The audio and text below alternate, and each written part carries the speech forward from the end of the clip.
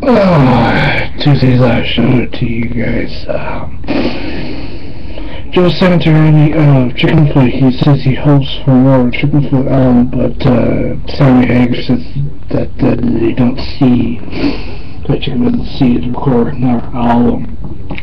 Uh, Rob Halford, if you guys know, if you guys watched the TV, uh, TV show The Simpsons, uh, just in cartoon form was on The Simpsons, and he said that it was was the biggest thrill. Thrash been confirmed Billy Corgan said he lashes sell uh, pop stars. Um, can you say? Uh, System of a Down announced a tour. Uh, Dizzy Reed, Guns N' Roses, Guns N' Roses the process working on their new album. Dizzy, Dizzy Reed said that uh, yeah, there's uh, new Guns N' Roses music that needs to be heard.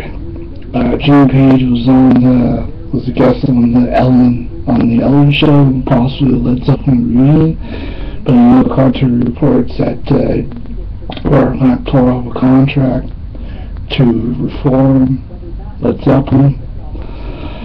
Um, you know, the, um, Is releasing a long way three the the release a three CD rarity uh, collection album.